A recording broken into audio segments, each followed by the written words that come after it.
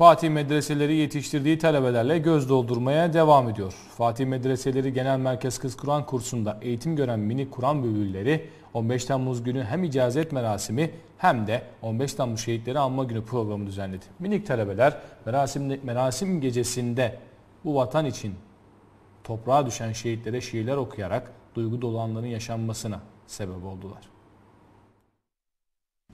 Fatih Medreseleri yetiştirdiği talebelerle göz doldurmaya devam ediyor. Fatih Medreseleri Genel Merkez Kız Kur'an kursunda eğitim gören mini Kur'an bülbülleri 15 Temmuz günü hem icazet merasimi hem de 15 Temmuz şehitleri anma günü programı düzenledi. Program öncesi bayraklarla 15 Temmuz şehitlerini selamlayan minik talebeler tek vatan, tek millet, tek bayrak çağrısı yaptı.